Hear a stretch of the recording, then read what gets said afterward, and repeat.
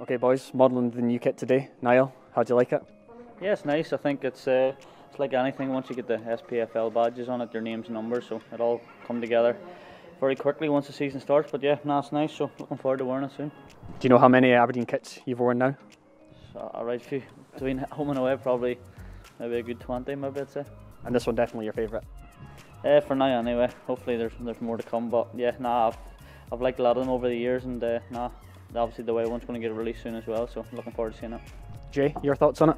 Yeah, obviously it's enjoyable for me. Obviously red being my favourite colour, so it all seems to come together well, and I'm enjoying the new kit so far.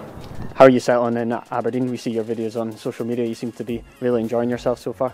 Yeah, it's been a great two weeks. Obviously, third week coming up now. Um, just looking forward to obviously keep getting to know people on like a person-to-person basis, and obviously the training and stuff's been good. So I'm just looking forward to it. Niall, how's pre-season been so far? It's been very good. It's been intense. Uh, been pretty full on with sort of uh, pitch sessions, gym sessions, but now it's been really good, and the boys have worked hard and got a couple of weeks behind us now. So it's just about maintaining that fitness. Uh, a few games coming up, uh, maintaining the sharpness, getting the sharpness through the games, match fitness as well. So now looking forward. Obviously, the games coming thick and fast, but most importantly, getting ready for the first European game.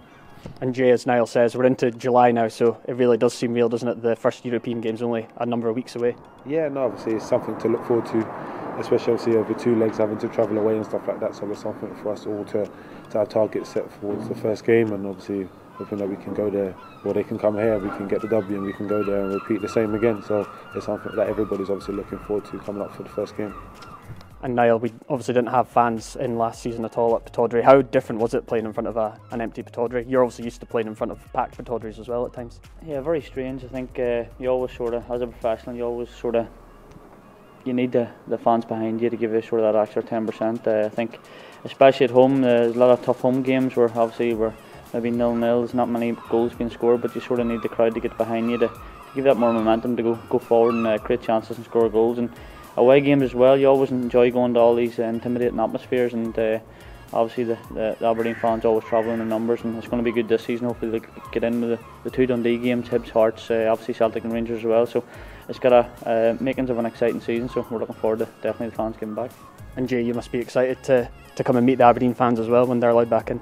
Yeah, no, it's something that I've been looking forward to. Fans coming back in general, but obviously hearing about the fans and, and seeing what the fans be like, obviously due to internet and stuff like that, is going to be great. And I look forward to them coming back and look forward to the boys being able to perform in front of them at home stadium. Jay, Niall, thank you very much.